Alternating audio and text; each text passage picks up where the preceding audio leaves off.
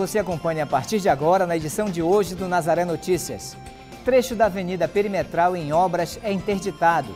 Nova tarifa de ônibus tem forte impacto na renda do trabalhador belemense. Policiais civis fazem paralisação de 24 horas. Lanches vendidos nas ruas de Belém precisam de cuidados e higiene.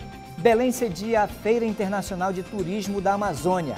Na série especial sobre museus de Belém, vamos conhecer a Casa das Onze Janelas. E no quadro de direitos vamos falar de planos de saúde. Hoje é quarta-feira, 21 de maio, Nazaré Notícias já está no ar.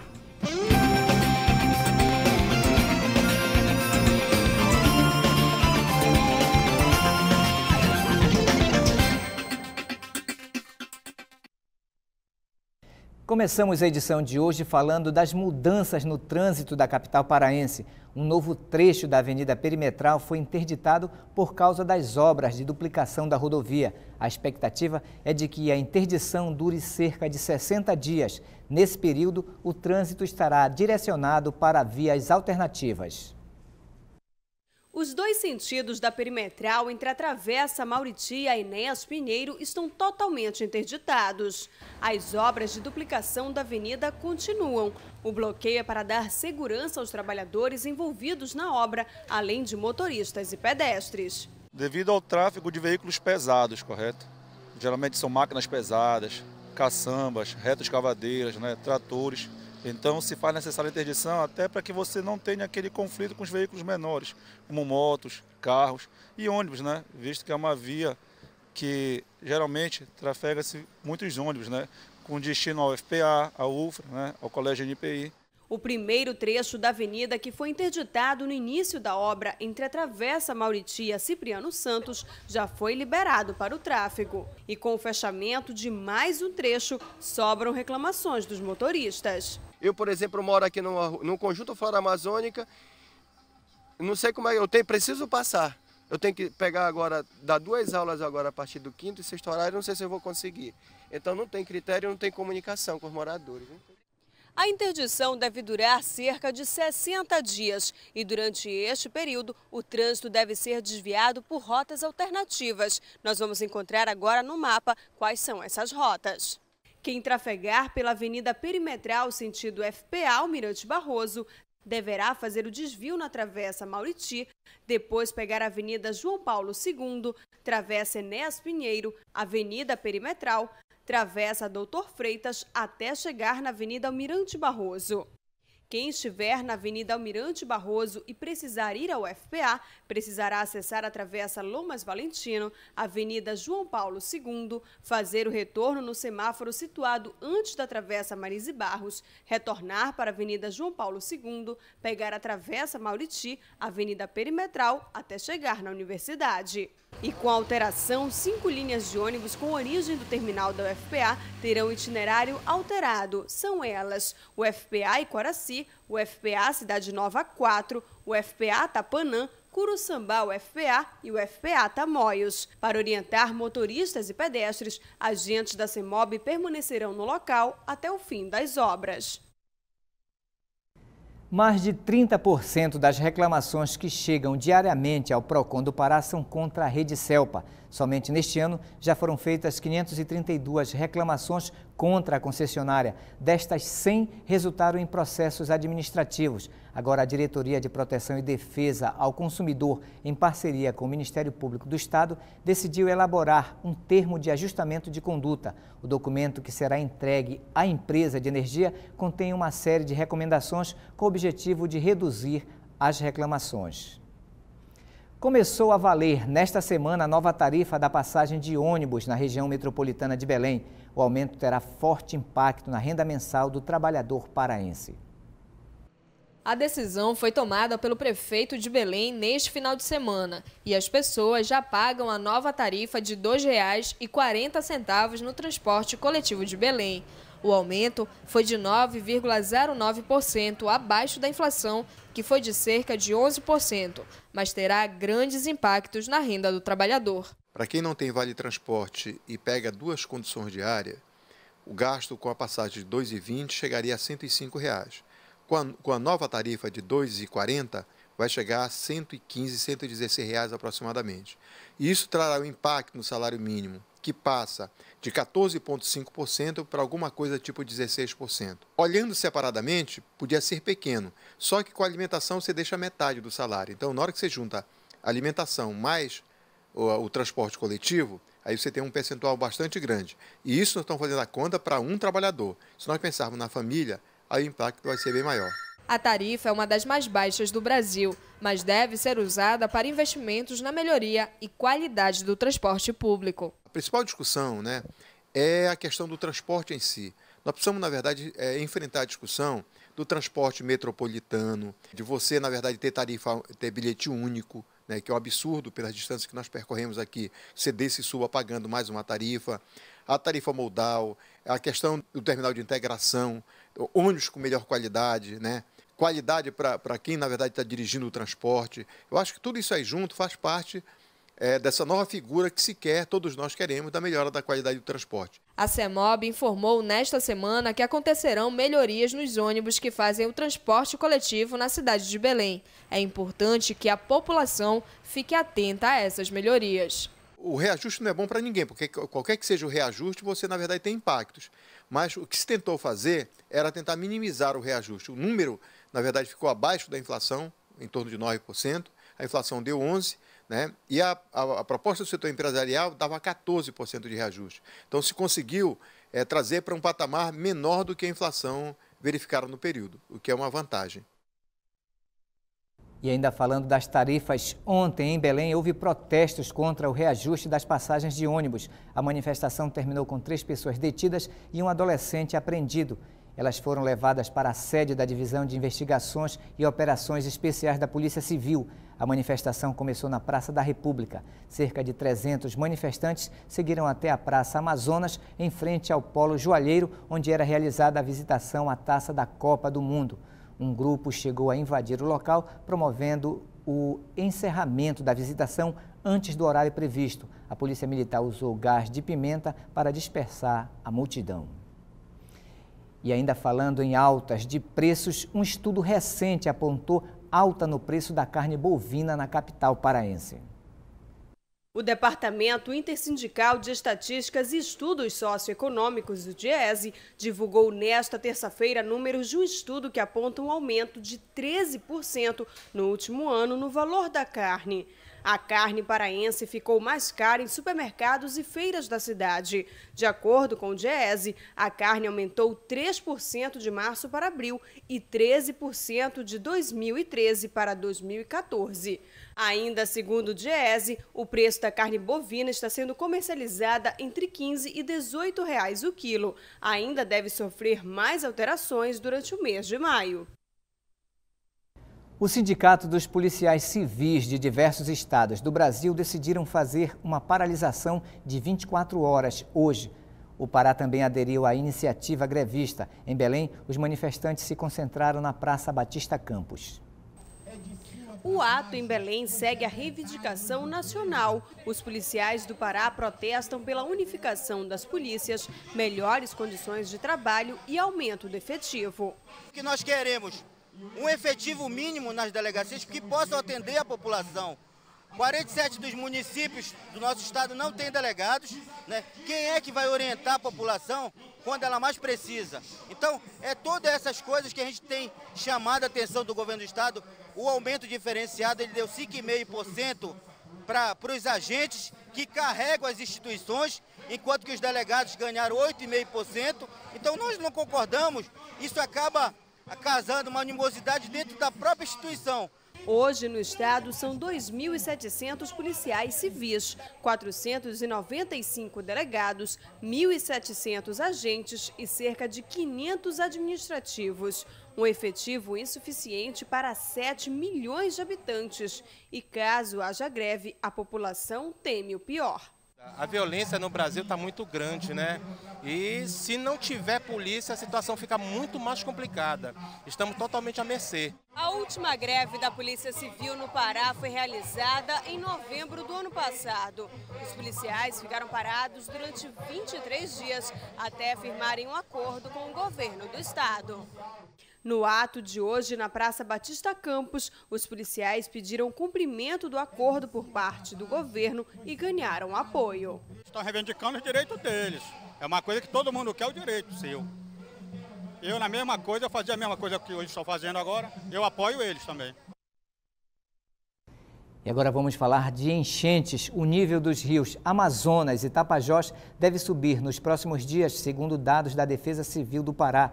Ontem houve uma reunião em Santarém com representantes da Defesa Civil de vários municípios do oeste paraense, com o objetivo de traçar novas frentes de trabalho e redobrar a atenção nas localidades que podem ser atingidas pelas enchentes. No oeste do estado, 14 municípios sofrem com o problema da cheia e seis municípios da região já decretaram estado de emergência: Alenquer, Almerim, Óbidos, Aveiro, Juruti e Terra Santa. Todas as quartas-feiras, nós recebemos o advogado Paulo Barradas para tirar as suas dúvidas e as dúvidas dos consumidores. Ele está aqui com a repórter Larissa Cristina e o tema de hoje são os planos de saúde. Não é isso, Larissa? Isso mesmo, Marcos. É importante a gente dizer que na última sexta-feira a Agência Nacional de Saúde ela suspendeu 161 planos em todo o Brasil de 31 operadoras. Doutor Paulo, é ainda uma situação muito comum essas irregularidades relacionadas a planos de saúde. Todos conhecem o direito, mas mesmo assim ele é sempre violado? Ele acaba sendo violado. A população tem que entender que nós modificamos o perfil da saúde no Brasil. Bom, é, no campo político, antes, o próprio governo federal, ele prestava a saúde, que é uma obrigação do Estado, tanto na esfera federal, quanto estadual, quanto municipal. E aí as leis dividem as tarefas entre essas três esferas. Mas essa, a saúde era prestada diretamente pelo governo antigamente, é, mas o Brasil mudou de perfil e o Brasil passou a fazer o seguinte: a saúde agora é prestada pelas empresas privadas sob a gerência da Agência Nacional de Saúde. Essa gerência da Agência Nacional de Saúde, mesmo fazendo essas, essas adotando essas medidas, que vem adotando, como adotou na sexta passada, ainda assim é um, uma, uma, uma gerência absolutamente insuficiente, que não protege de forma alguma o consumidor. E eu vou mostrar por quê. O consumidor é, que trata com plano de saúde, que contrata um plano de saúde, ele está tratando de dois direitos básicos do cidadão de dois direitos fundamentais, que é o direito à vida e o direito à saúde. É, os direitos humanos, no plano internacional, quando eles passam para dentro do direito brasileiro, para dentro do nosso direito doméstico, eles mudam de nome, ele deixa de ser direito humano e passa a ser direito fundamental. É aquele direito básico sem o qual o tratamento do Estado para a pessoa não é digno de ser humano. E se não tiver vida e se não tiver saúde, não tem como exigir cidadania, não tem como respeitar as instituições do país, não tem como levar uma vida sadia e é, constituir a própria família e manter a cidadania básica. Então, é muito importante que esses direitos sejam absolutamente mantidos. E aí, trabalhar com o direito à saúde e o direito à vida implica num respeito muito grande ao cidadão, porque é um direito dele que é reconhecido no mundo inteiro de forma igual. Todo mundo tem direito à vida e todo mundo tem direito à saúde. O papel do poder público, detalhe, esses direitos fundamentais, eles, a gente pode alegar contra as ações do governo, mas pode alegar contra as ações de particulares também, como é o caso do plano de saúde. O plano de saúde que eu contratei e que está me negando atendimento, ele tem que respeitar o meu direito fundamental de cidadão, que é o direito da saúde, que é o direito da minha vida. E para isso que existe a Agência Nacional de Saúde. Então, algumas determinações, por exemplo, a gente vê que não são cumpridas nem pelo governo. Por exemplo, determina a Agência Nacional de Saúde que quando o plano ele está próximo de quebrar, ele não tem mais condições financeiras de se manter, a Agência Nacional de Saúde intervém e aqueles clientes são transferidos para um outro plano, de forma que o, o consumidor ele nunca vai ficar desamparado na sua saúde. Isso não acontece. A gente viu que aqui em Belém já quebrou o plano de saúde e a agência de saúde não tomou atitude alguma e os consumidores ficaram absolutamente à, própria sorte, ficaram é, nas mãos da, do, do, seu próprio destino e cada um deu o seu jeito, o que não pode acontecer. O poder público ele tem que ser mais presente, ele tem que criar uma esfera de proteção, pelo menos a esses direitos fundamentais, porque esses direitos fundamentais são aqueles que de forma alguma podem faltar. Então, é, de um lado nós temos a população com direitos fundamentais e o cidadão querendo seu direito, que é legítimo, e é legítimo em qualquer lugar do mundo. Quero dizer isso, não estou falando de qualquer direito inventado, não. Estou falando de um direito fundamental. De outro lado, eu tenho uma empresa que pretende obter lucro, que pretende é, obter dividendos daquela prestação de serviço. E que é legítimo também, eu não estou dizendo que o lucro é ilegítimo de forma alguma. Mas este lucro, para a obtenção desse lucro, para o aumento desses lucros, eu não posso ter prejuízo no serviço de um direito que é internacionalmente conhecido. Daí o grande problema e a ação da Agência Nacional de Saúde para proteger toda essa prestação de serviço. Deveria fazê-lo com mais eficiência. Na verdade, todas as agências reguladoras, as agências do Poder Público Federal, e aí eu posso citar a Agência Nacional de Saúde, a Agência Nacional de Energia Elétrica, a Agência Nacional de Telecomunicações e por aí vai, a Agência Nacional de Aviação Civil, todas elas oferecem uma proteção ínfima, uma proteção abaixo daquela, aquém daquela que deveriam prestar. Não é por outro motivo que essas agências nacionais são as campeãs de reclamações em todas as esferas judiciais. Quando não são as próprias agências, são os serviços por elas é, administrados, quais sejam plano de saúde, telecomunicações, aviação civil. Por quê? Porque a Agência Nacional não administra o setor como deveria administrar. A gente vê, por exemplo, que os órgãos públicos, aqui em Belém nós temos um problema sério criado pelo DENIT, que ele cria todo dia um engarrafamento absurdo na BR-316, e quem precisa usar a BR para morar no outro município, Ananindeu, é Marituba, ou trabalhar, sabe do que eu estou falando, para depois dizer, olha, diminuir o índice de atropelamento na BR. Isso é uma absoluta incompetência, né? Então o governo, infelizmente, o governo federal, ele vem tratando o cidadão desta forma. Este problema se acentua quando a gente chega num assunto nevrálgico, que é a saúde, que é a vida do cidadão. Então, por isso, essa série de medidas, por isso esse problema todo, e o problema tende a continuar. Quanto mais incompetente for a administração e o gerenciamento do setor, maior os problemas entre a população, que sempre vai sofrer, porque é o lado fraco do, do contrato, e os planos de saúde, que é quem detém o capital e quem detém a, a disponibilidade do serviço sem concorrência. Porque se dissesse, não, o, plano, o, meu plano de saúde, ele me oferece saúde, mas o governo também oferece e eu posso optar, mas não há essa opção. Ou é o plano de saúde ou é o plano de saúde. Doutor Paulo, no próximo bloco a gente volta conversando sobre as principais irregularidades cometidas e como os consumidores podem recorrer aos seus direitos. A gente volta daqui a pouco, Marcos. O juiz Arthur Pinheiro Chaves, da Vara Ambiental da Justiça Federal do Pará, determinou que a empresa Imeris não pode mais armazenar caulim na bacia de contenção número 5, no município de Barcarena. A bacia teria provocado cinco vazamentos entre os dias 6 e 19 de maio. Em nota, a empresa afirmou que não há sucessão de vazamentos, informou também que houve um único vazamento e que vai atender a determinação judicial, mas vai recorrer da decisão. A liminar acata uma ação movida pelo Ministério Público Federal em parceria com o Ministério Público do Pará. Também em nota, o MPF informou que vai continuar o monitoramento das atividades naquela área. E você acompanha ainda nesta edição, lanches vendidos nas ruas de Belém precisam de cuidados e higiene. Acontece na capital paraense a Feira Internacional de Turismo da Amazônia. Na série especial sobre museus, Belém vai, você vai conhecer a Casa das Onze Janelas. E vamos continuar falando sobre os planos de saúde. O Nazaré Notícias volta já. Os lanches vendidos nas ruas de Belém precisam ter autorização da Secretaria Municipal de Economia. Além disso, é importante que as pessoas observem as condições dos espaços, dos manipuladores e também dos alimentos antes de consumi-los. Eles são comuns nas esquinas da cidade. Os carrinhos de lanche são frequentados por estudantes e trabalhadores que muitas vezes não tiveram tempo para se alimentar durante o dia. Os carrinhos de lanches encontrados nas esquinas devem ter autorização da Secretaria de Economia para poder funcionar e qualquer irregularidade deve ser denunciada à Vigilância Sanitária. Nós atendemos aqui denúncias, tá?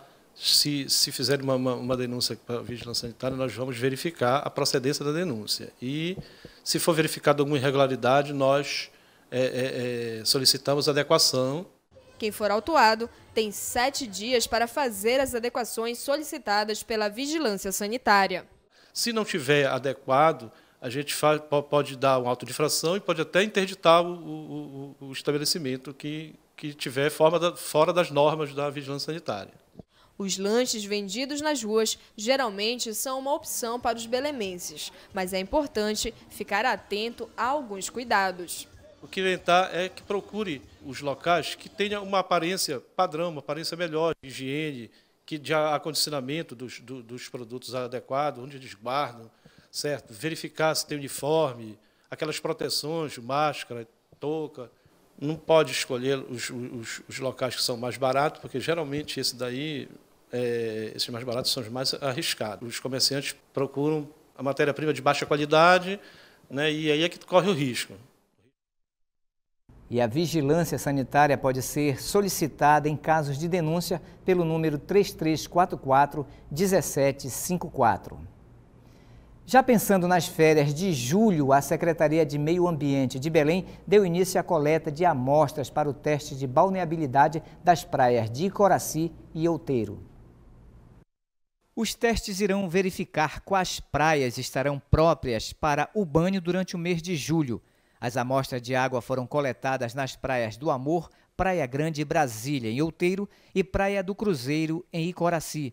O resultado deve ser divulgado até a última semana de junho. Segundo a resolução do Conselho Nacional de Meio Ambiente, a praia será considerada imprópria para o banho quando quatro dos últimos cinco resultados estiverem acima de mil coliformes fecais por 100 mililitros.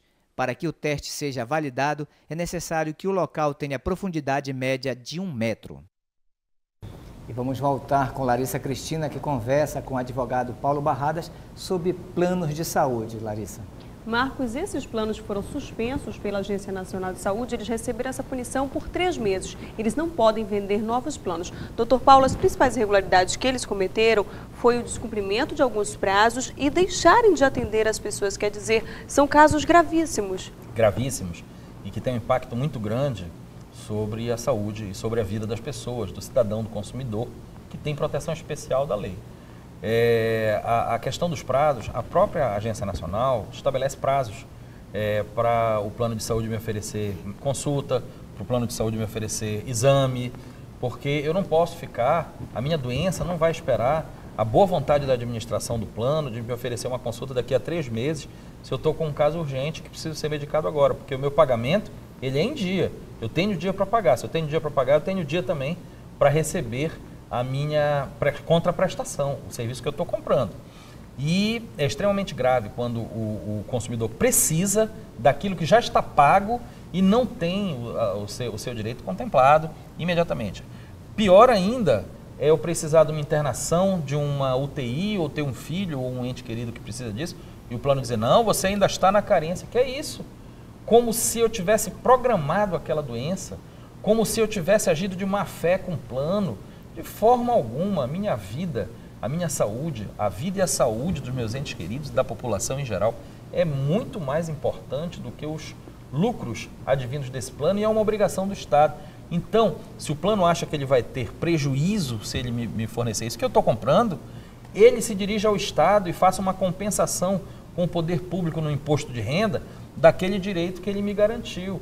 Porque se o plano não me garantir, o governo tem que me garantir, o governo federal, estadual, municipal. Sem a saúde é que eu não posso ficar. Isso é uma garantia constitucional, eu não estou falando de lei, eu não estou falando de coisa pequena, eu estou falando de ordenamento jurídico, da lei mater, da lei mãe. Eu estou falando da base do ordenamento jurídico. A Constituição garante a todos nós o direito à saúde e o direito à vida. Então é um assunto muito sério que tem que ser mantido. Agora, nesse caso, doutor Paulo, como procurar ajuda? A gente sabe que justamente é numa hora muito difícil, a pessoa está precisando e o plano de saúde diz que não vai atender. O que, que a pessoa deve fazer? Pois é, normalmente é num momento de vulnerabilidade do, do, do consumidor, num momento difícil, talvez nos piores momentos da vida do consumidor, e num momento de urgência, porque a contraprestação ela tem que vir rápido, porque se ela demorar muito, e se as pessoas demorarem muito para decidir se eu vou ter ou não vou ter o meu direito contemplado, talvez eu já nem precise mais desse direito, porque até lá eu já morri. Então, esse direito, normalmente, ele tem que ser reposto, ele tem que ser resguardado pelo Estado juiz. Infelizmente, vai ser o Poder Judiciário, através ou do advogado particular, do, do consumidor, ou da Defensoria Pública, nossos colegas defensores, tão competentes quanto nós, e não há nenhuma diferença nisso, ou até do Ministério Público, existe o Ministério Público do Direito de Defesa do Consumidor, já que isso é uma relação de consumo. Mas, de alguma forma, o juiz tem que ser provocado para garantir o direito à saúde, para garantir esse meu direito que é fundamental, é um direito humano. Existe uma declaração universal que garante esse meu direito aí e que não é uma empresazinha que pretende, evidentemente, os seus lucros, mas uma empresa qualquer que vai estar acima do nosso direito à vida ou o nosso direito à saúde. Ninguém quer o prejuízo de ninguém, mas esse direito, de alguma forma, ele vai ter que ser satisfeito. Então é importante ressaltar que as pessoas devem ficar atentas na hora de fechar esse contrato e saber o que, que está previsto ali dentro do que ela assinou com a operadora de saúde. Exato. A regra é ler o contrato todo. Eu sei que é muito desagradável, as letras são pequenininhas, o contrato nos convida a não lê-lo, mas leia o contrato com toda calma, não se precipite, converse com a pessoa que está lhe oferecendo, lhe vendendo aquele serviço. Pegue anotado, se for possível pegar as anotações dela. Tenho carência? Para que tipo de situações são as carências? De quanto tempo é a carência? Porque isso no futuro vai ser discutido.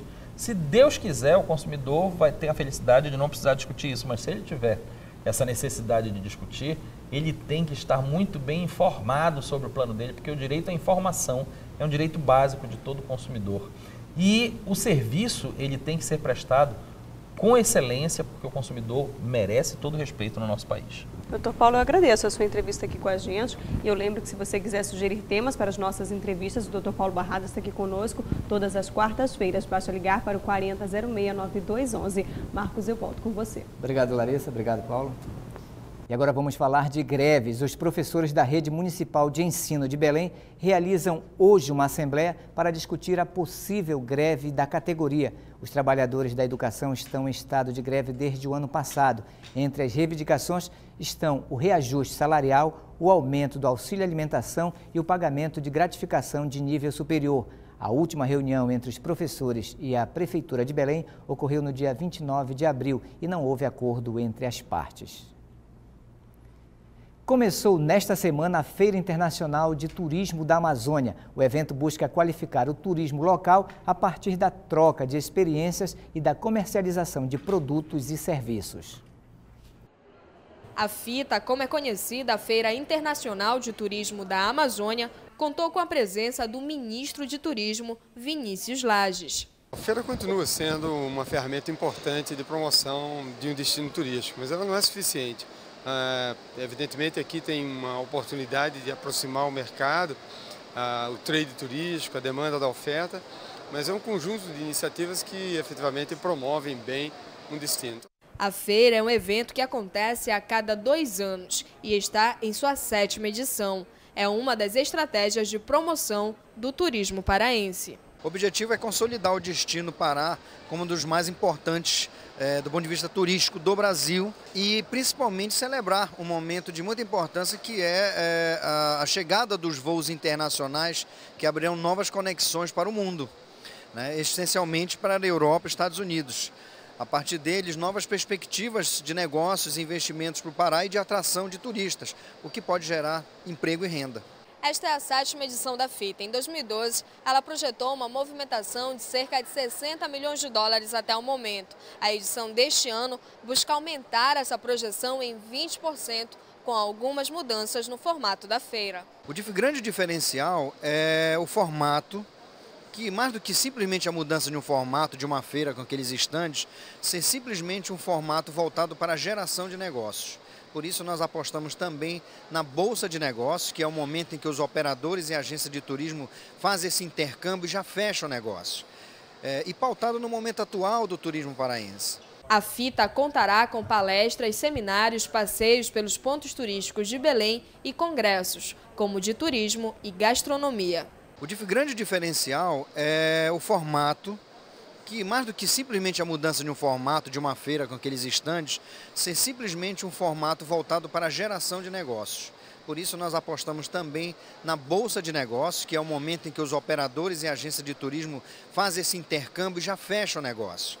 É, e pautado no momento atual do turismo paraense.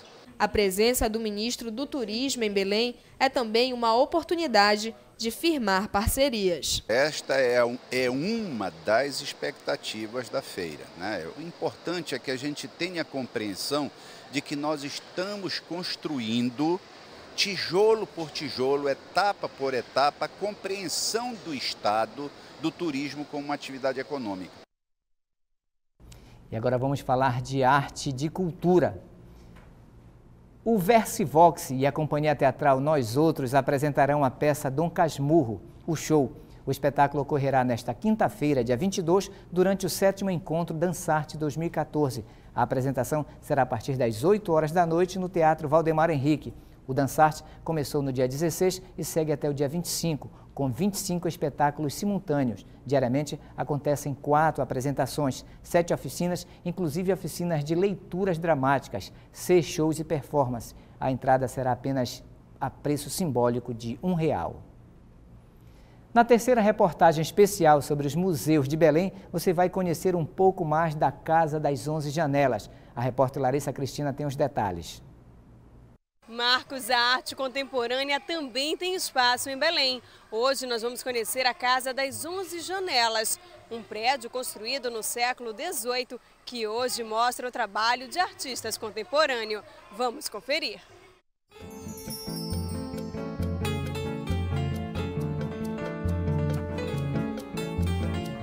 A casa é um marco na história da urbanização de Belém. Foi construída na metade do século XVIII por Domingos da Costa Bacelar, um rico proprietário de engenho de açúcar.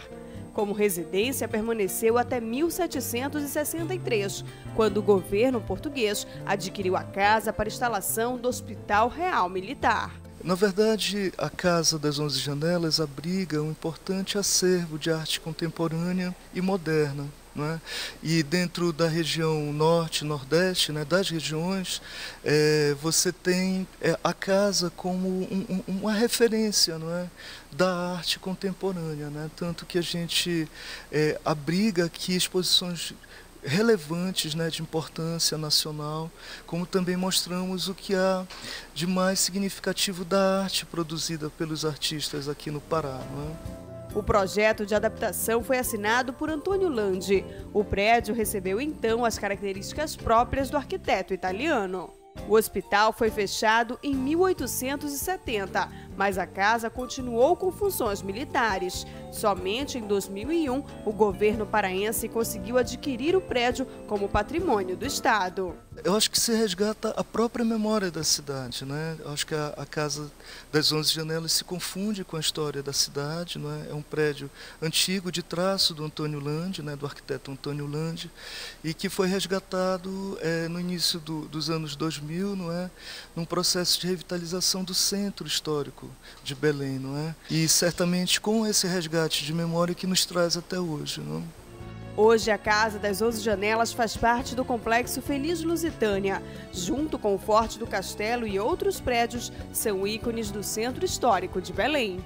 A casa foi um dos primeiros espaços públicos de Belém a abrir a vista para o rio. O espaço possibilita ao público contemplar a realidade amazônica. Visitada por turistas e moradores da capital paraense, a casa é também um espaço de lazer, com restaurante no térreo e espaços expositivos permanentes.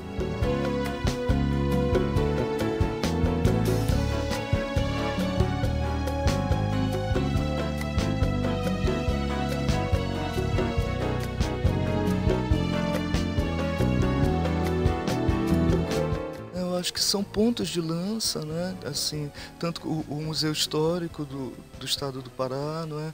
o Forte do Presépio, a Casa das Onze Janelas, é, o Museu de Arte Sacra, né? são é, espaços importantes né? para que a cidade ela ocupe novamente e revitalize esse centro histórico. Né? Isso é uma coisa que paulatinamente está acontecendo. Né? E é importante a gente frisar o quanto foi é, significativo essa, é, esse projeto da Secretaria de Cultura de revitalização desses espaços, né, que agora se tornam espaços culturais não é, e abertos ao público. Fundamentalmente isso, né, para que a gente possa ter um contato direto com cada um desses locais. Não é? Entre as exposições, a preocupação com pessoas deficientes. Obras de inclusão possibilitam a sensibilidade. No espaço cultural, as exposições são temporárias, possibilitando que vários artistas mostrem seu trabalho.